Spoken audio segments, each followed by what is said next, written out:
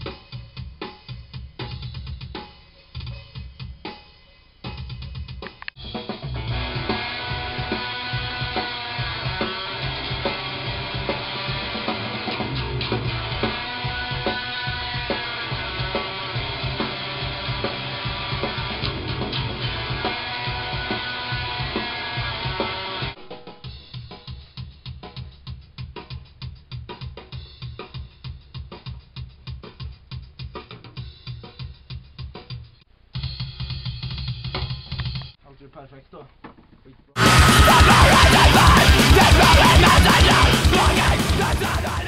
Det var så här, man kanske var 15, vi hittade rakapparater och så vet du, jag kan tänka mig att jag hade, jag tror det var så hade lite babyhår kvar, du vet lite såhär ljust hår bara.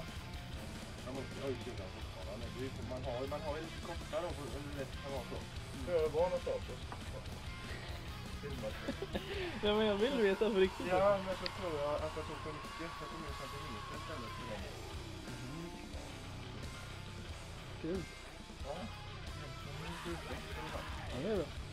Vi kör lugnt.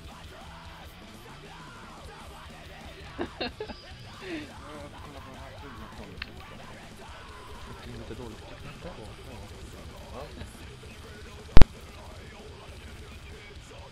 Den vill du kunna få hakan efter du slår den.